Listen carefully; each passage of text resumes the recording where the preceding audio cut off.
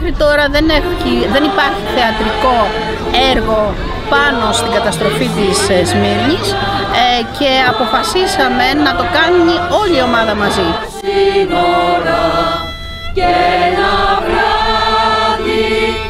Η αρχή έγινε από τις ντόπιες ιστορίες, σαν αυτή που λέω εγώ, δηλαδή είναι ιστορίες εδώ που έχουν γίνει στο νομό μας, στο Κατάκολο, στη Γαστούνη, στον Πύργο, στις συνοικίες δηλαδή του Πύργου ε, και μετά επιλέξαμε και άλλες ιστορίες άλλων γυναικών, είναι όλες αυθεντικές ιστορίες, δεν είναι μυθοπλασία.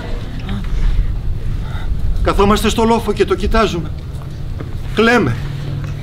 Μας φαίνεται πως γλιτώσαμε και γυρίζουμε στα σπίτια μας. Να ησυχάσουμε. Πάμε, πάμε να δούμε. Πάμε, πάμε όμως χωριστά και αύριο το πρωί ανταμώνουμε στη μεγάλη σπηλιά. Όπου κι αν πάνε, όλα ρημαγμένα. Την άλλη μέρα μας πάνε στην Πάντερμο σε ένα στάβλο και την παράλληλη στο Παλούκεσε, στη φυλακή.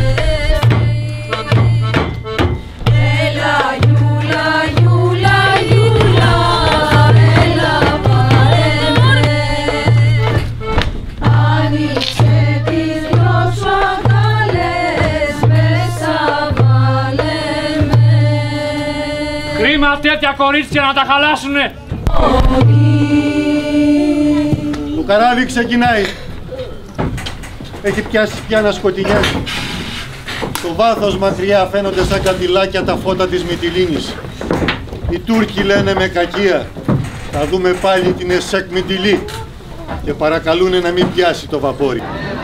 Να συμπληρώσω ότι μαζέψαμε πάρα πολύ μεγάλο, πολύ, πολύ υλικό όπως προανέφερε η Βίκη. Ε, είχαμε και γραπτές ιστορίες, ψάξαμε και πολλά βιβλία, αυθεντικές όμως, που είναι από επιζήσαντες οι, οποίοι, οι οποίες έχουν καταγραφεί.